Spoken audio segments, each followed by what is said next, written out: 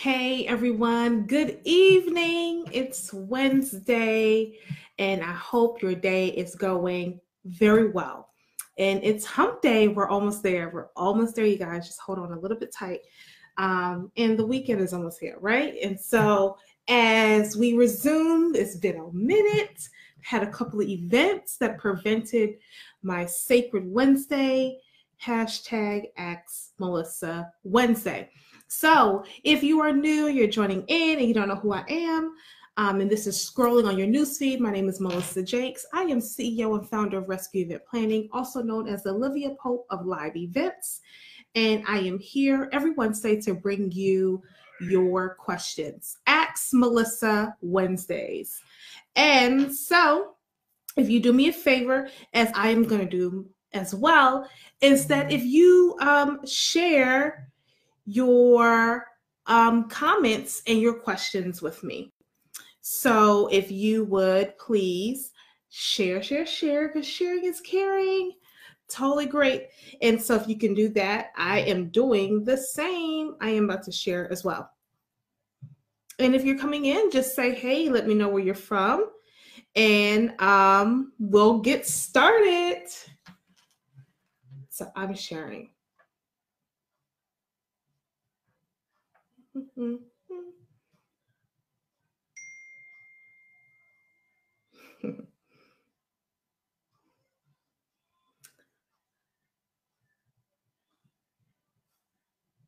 okay.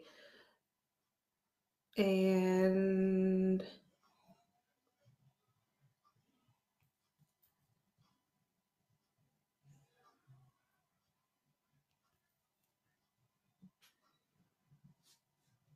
All right, cool. Done and done and done. So I hope you share as well. So if you're watching the replay, put hashtag replay so I can um, check you out. Ask your questions, even if it's after the live, ask your questions because I go back anyway and answer them. So let me know. All right. So today's um, topic is what to expect when hiring an event planner. Um, and so I get a lot of questions about this, and I hear a lot of people talking about it as well um, as they're in their search of an event planner for whatever type of event they're planning, right? And so, um, one thing that you should really know about um, hiring an event planner that there's certain expectations that as a client you should hold as well.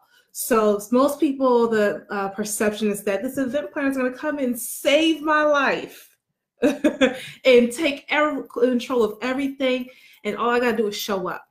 That's not real. Um, and the reason why that's not real is because as the event planner, we listen to your vision and then we take on the vision and help you get to the end goal.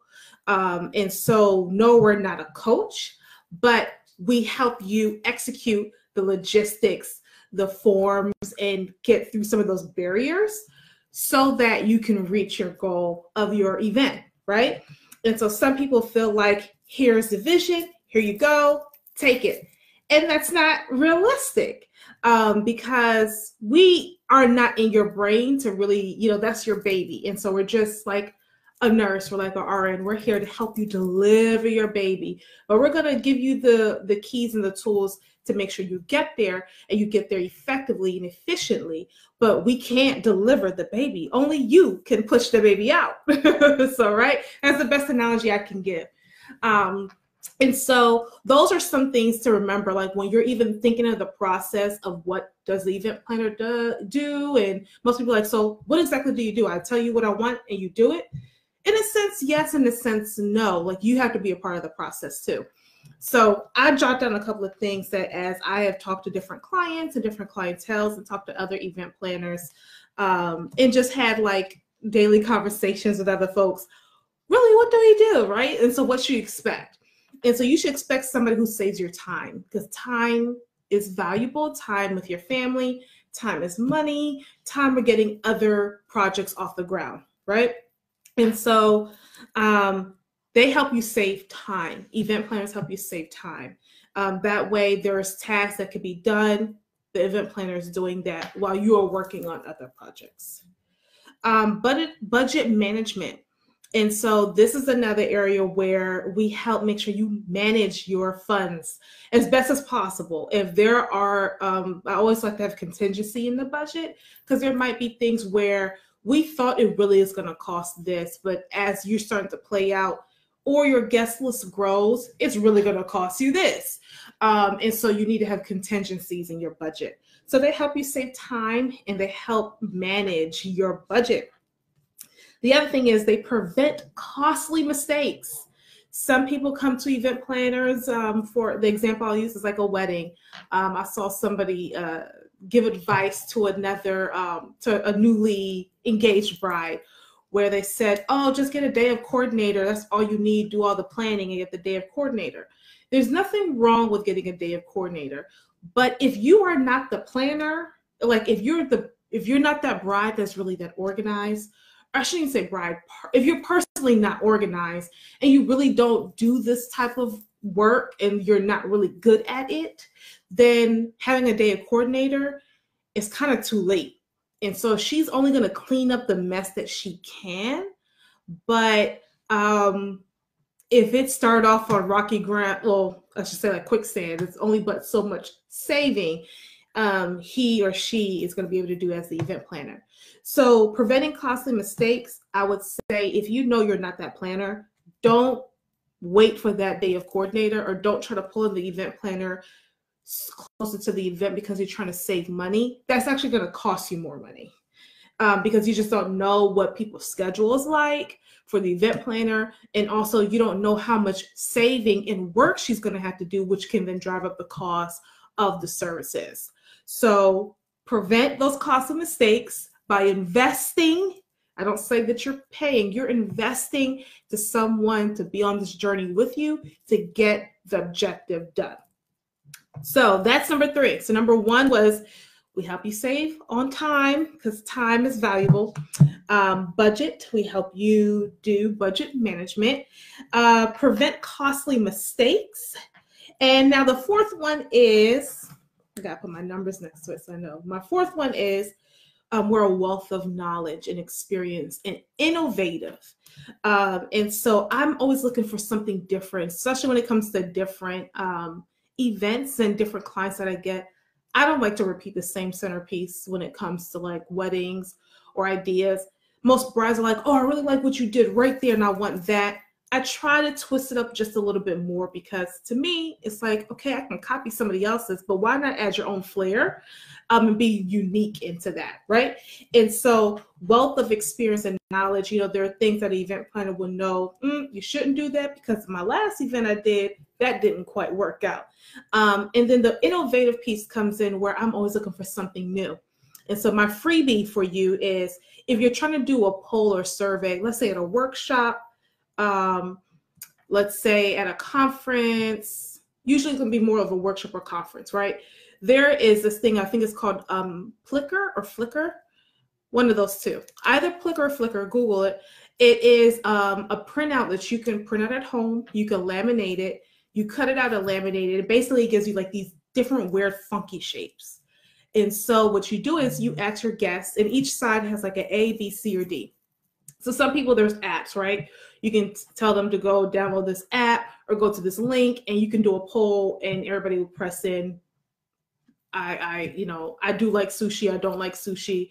I like to go to Jamaica, I don't like to go to Jamaica, whatever it is, right? And so you have your polling system. So some people do apps, but I think something that's a bit more innovative and creative and that's more interactive versus on your phone. There is a um on Flickr, it is you can print it out and you um, can laminate it so it's a little bit more sturdier. But basically, each side is like A, B, C, or D, and so you just turn it up, right up, upside, upside up, or right side up, whichever you want to say it.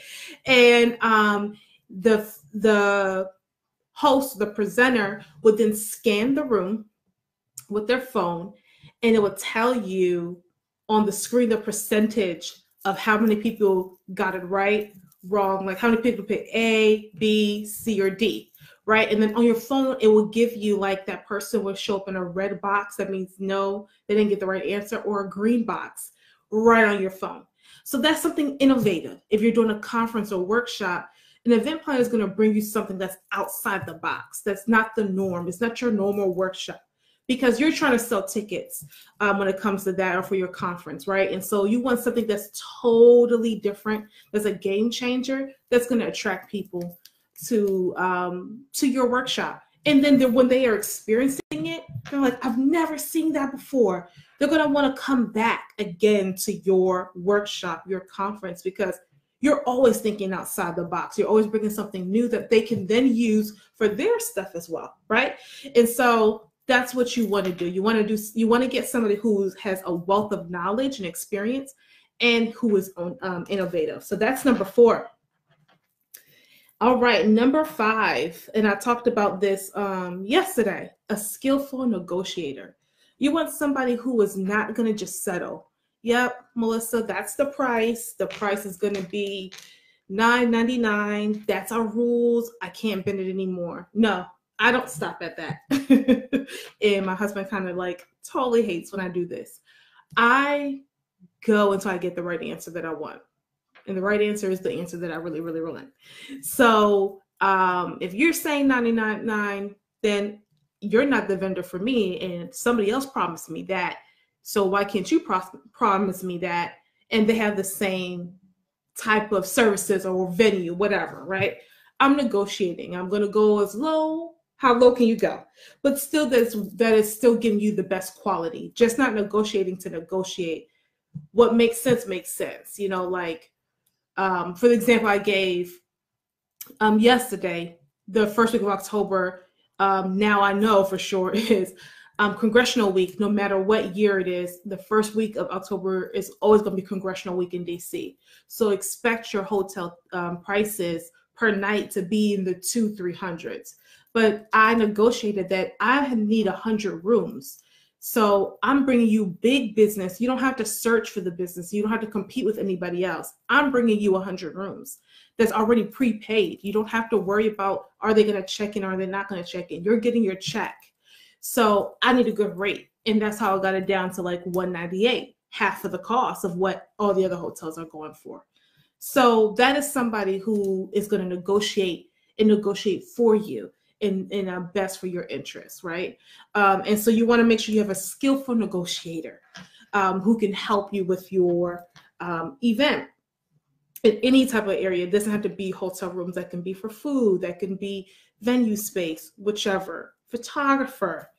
Um, I love doing it with photographers because there's always a way to get their brand out there while working on your brand. And hey, we're helping each other out, right?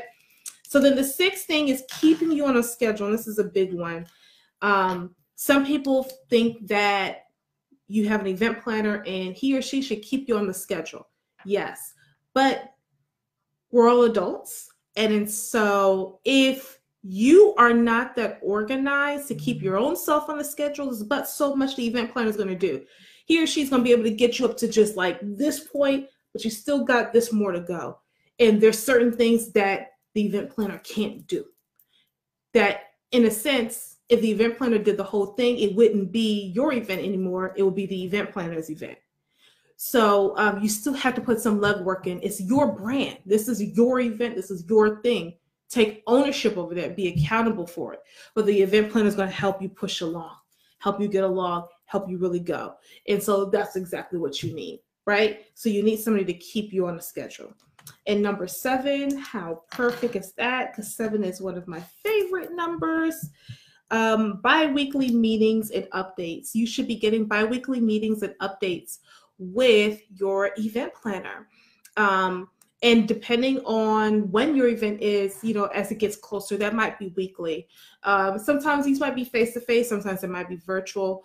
Um, what I'm trying to do and get better at is having more of my meetings um, virtual, but virtual face to face because um, you know a lot of us try to multitask, especially um, our, our those who are women. Like we we are awesome multitaskers, but also what uh, prevents me when I'm really trying to get work done with clients is that I'm not able to see their face, their facial reactions. I'm not able to see did they get occupied? Do they not really hear what I just said? Or they're just saying, mm-hmm, yep, yep, I got it. Um, and so having that virtual um, one-on-one so I can see if they do need to step away from the camera, then they can.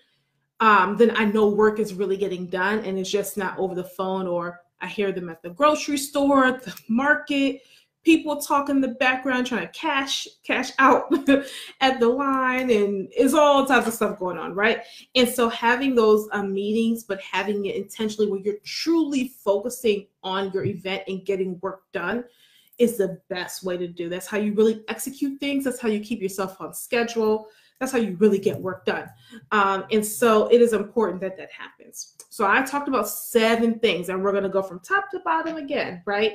What to expect um, somebody to help you save on time, budget um, your money, your coins, prevent costly mistakes. Somebody who is a wealth of knowledge and innovative, um, a skillful negotiator, keeps you on schedule and has bi-weekly meetings. And as it gets closer to your date, most likely they'll move to weekly meetings, probably most likely face-to-face. Um, really just depends. So those are things what you can expect when hiring um, an event planner. I'm totally open to your questions as well because I know a lot of people, um, and hopefully I answered a lot of your questions already. Um, but I know there's a lot of people who might have more questions um, for me. So I'm just gonna go in Hey, Jisha. I haven't seen you in years. Oh my gosh. Hey, girl.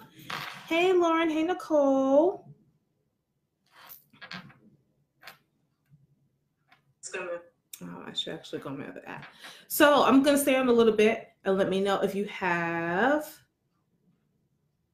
questions. Can I see my own self live in this? Yes? No? Maybe. Hey everyone, this is Melissa Jakes here. See ya. Maybe not. Have you chose your own commercial? You're like, oh, my voice. I hate how my voice sounds. Okay. All right, perfect. Yeah. So, hey guys, hey. okay, so let me know if you have any questions um, I went over a lot, and I'm so glad I'm able to do this because um, it's it's been a minute since I've been able to actually get to like why an event planner, what to expect, um, because it gets a little tricky out there. And there are a lot of people who said they're event planners, and there are a lot of people who do event planning, and you may not have a great experience. So, but um, I like to put the facts on the table because it is a mutual understanding it is a mutual agreement and it is mutual work. Um, and the event planner is not, uh, we're, we're really good at what we do, but we're not basically saying, um, I should say that there are some people who will pay that premium who is like, I want butterflies in the garden, go. And they take it on. So, yes, there is that, but that is on a very high premium and that you have that working relationship with that client before that they know you understand their vision when you say butterflies in the garden go. Um, not everybody has that relationship when you first work with an event planner. Um, and, and, and one and if i can add a, a bonus in a sense what to expect is expect to invest in an event planner. Um, event planners are not um, we're not too expensive, but we're not cheap. I should say that. It's an investment. Um, it is time and it's very hard work. Time, hard work. Um, and so I'm very, very particular of who I work with because I had some I had a lot of people who may have disrespected my time. Um, and that's not fair for you, and that's not fair for me and my family because you know I do have a little princess who wants her mommy um, and wants to enjoy her mommy. And so if I am um, taking time from her, it has to be worth the time. Um, and so some people ask about pricing. Why is it this much? Why is that? Um, it's time. Time is a big thing and away from my family. And I, um, you know, that has to be kind of respected as I would do the same for any services. I make sure who I then hire to do services for myself, um, I respect their time and I respect their value and I understand the value. As an entrepreneur, that gets real. so let me know if you have any questions. Um, I'll stay on a little bit longer. And if not, and if you're watching the replay, great. Put hashtag replay and then ask me your questions. Some people want to send in a DM. That's totally fine as well. So um, I will stay on a little bit longer. All right, you guys. So um, again, my name is Melissa Jakes. I am CEO and founder of Rescue Event Planning and also known as Olivia Pope of Live Events. Um, stay focused, sparkle, hashtag goals, do the right thing, and be great, be bold, be you. See you guys later. Bye.